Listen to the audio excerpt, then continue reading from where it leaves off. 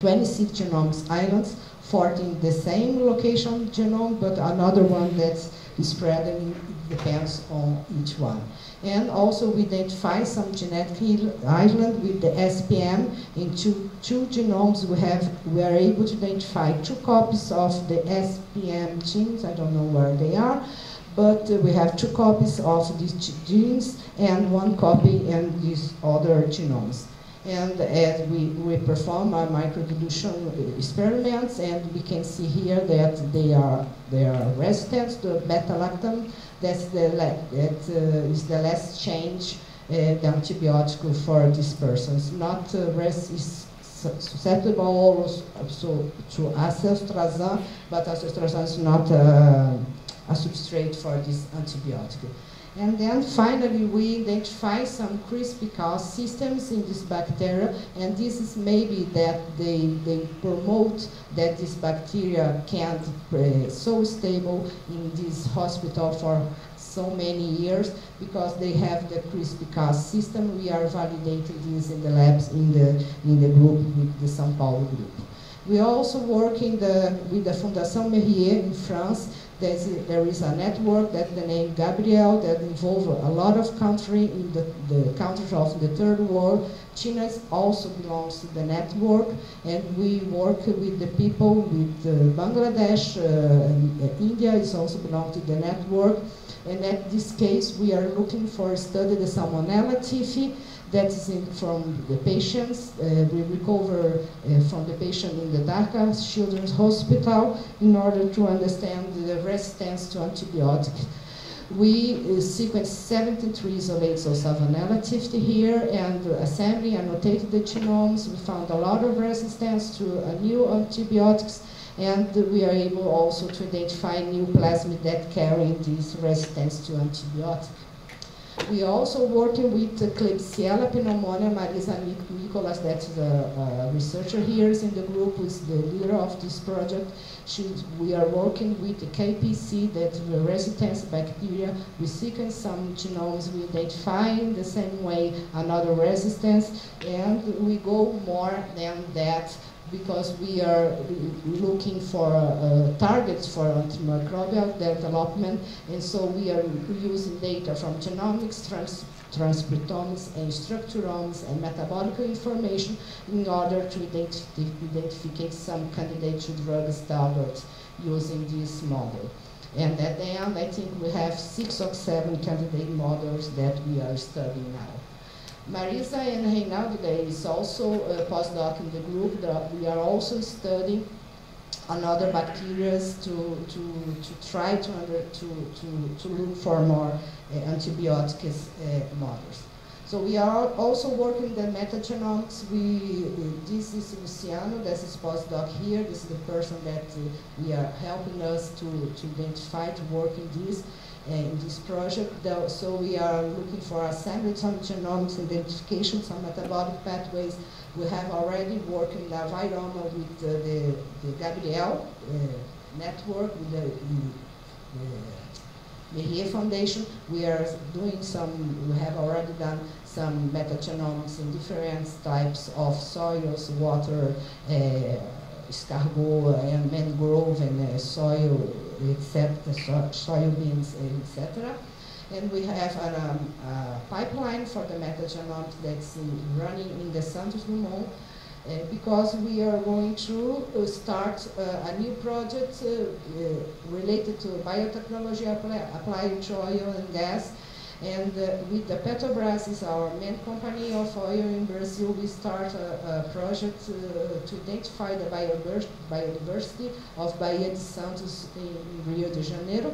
And with Petrobras, that is a company, an oil company from, uh, from Portugal, we have already done some project we finished last month and we to identify biotechnological and potential antibiotic enzymes and biosurfactants in this project. So we will start, um, uh, Luciana Ciapini, that's researching the group, working together in this project. We will, we will have more than same station. We will sequence the metagenome for the sentiments, water in two periods. We will analyze 1,200 sample. Uh, is a huge project. We will have a sonography project to involve people from chemistry, physics, and geology, and the LNCC will be part of, of the biological study of this network. So as I told you, in Petrobras, we, we sequence and we analyze the metagenomes from the Northeast, the campus that Petrobras has in Brazil, and we are able to identify a new bacteria, a protobacteria. I cannot show the name of bacteria. We are trying to, to, to verify, but he degrades hydrocarbons in a very, very fast way. So that's very interesting. We are also working with, uh, I have to move fast, we are also, what's that? Oh, it's not happening here, something's happened, but we are working with the birds. Uh, we have sequenced the parrots that uh, share with the humans some genetic change for critical brain. So we identify some genes. Uh, I have another one with the, the photograph of um, o André, that is the, the postdoc that is responsible for this project. And we identify some genes that are linked to the cognitive function that's very, very similar in humans. So we compare here the three birds that is a long life and uh, when we compare with the genomes, uh, human genomes, we can see that they are they, they have the same uh, accelerated evolution in these genes on these regions. And we continue with the birds. We are now sequencing and studying the Oxynis subiocines, that is this the songbird, and we are comparing the, the birds that's not singing, and this subiocines is, is not so sequencing in the world. We don't have any data, so we are studying these Brazilian birds. Continue with the Zika, we pass to the, the humans, so we, we start to, to study the microcephaly. For the outbreak in 2015, we had a lot of children that's uh, someone is stillborn, that, uh, that have the congenital Zika syndrome. And then we, with uh, three postdocs in the, in the lab, uh, Guilherme, and uh, we, we start to work, integrated the data from the exome. We sequence some, some, some, some stillborn babies, and we integrated with the transcriptome and proteome data from another hospital, uh, another groups in Rio. That's this work is also with Fiocruz, in this case with the hospital in Fernando Figueira. So we have sequenced five stillborn. We use some variants, some methodology in order to analyze more than 8 million reads for per exome, and we map uh, in the genome to try to identify what, which genes that we have some uh, SNP, some, some mutation. And we, at the end, we found some genes that are the collagen genes that are involved in this study. And when we compare with the data with the transcriptome, the proteomic analysis, and when we perform the histopathological analysis, we confirm that we have the, the loss of collagen fiber. If you can see here, this is a normal uh, babies that we have the, the fiber of collagen here in red, and here the, the, the babies with, the, the, with Zika, we cannot find the collagen fibers, and for that reason the brain is complete, completely uh, spread. This is a very interesting and involve uh, another uh, institute in Brazil, not only in Rio, but also in Campina Grande, where we had a lot of uh, break of Zika. We continue to work with zero infection. I, I don't have time to talk about that, that but with, also with the Institute Oswaldo Cruz and Fiocruz, we are working with the thymus and the muscle tissue. We infect some cells, we have some analyzed, and then, then if you, I don't know if you can see here, but we have the expression of genes that are related to the organization of the matrix, uh, extracellular matrix, that is very important for, uh, we also can hit the collagen gene here, but we also have the response to the virus or some uh, uh negative regulation for the, the immune system and etc. And here is uh, the genes that are downregulated in this case, is very interesting, that are the histones that are involved in the regulation of the whole genomes at, at all. We performed the same study for the Zika, and now we start with o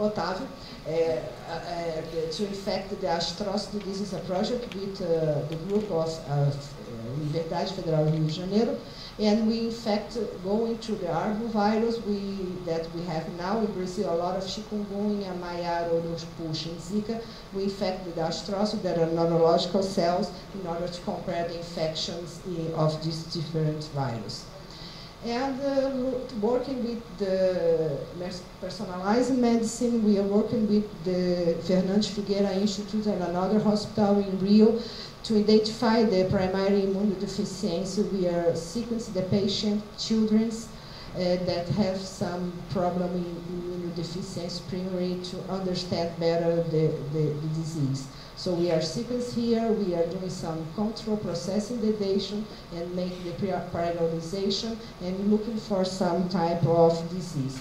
In this case, it is a, a, a gamma-globulinemia disease, and that's the genes, these genes that is responsible for that. We identify a new SNPs in gene genes, but doing the exomes experiments, we are able to identify another genes, maybe they are involved in, in, this, in this case. And also we have a portal, bioinformatics portal project, uh, uh, Carrie and Carol, Car Carol that work in the bioinformatics and Carol that work with HPC we will present. We developed a bioinformatics portal that uh, is, is is a program that is what the Ministry of Science Technology that supported this project and is a portal for the whole community in Brazil that is using bioinformatics uh, using the, the capacity of the Santos Dumont. We also developed a lot of databases that are available, and there are these are some of them in different different areas. We can talk a, a little bit more about that. We are also doing services for sequence and bioinformatics analysis at the lab. And this is our, the, in the last year, the main institution that we had collaboration in 2018 and the beginning of this year. And now I have the pleasure to include the Beijing Institute of Genomics in the international collaboration that we have with some groups in France, in, Euro in Europe, and in South America, and now with China. Thank you very much.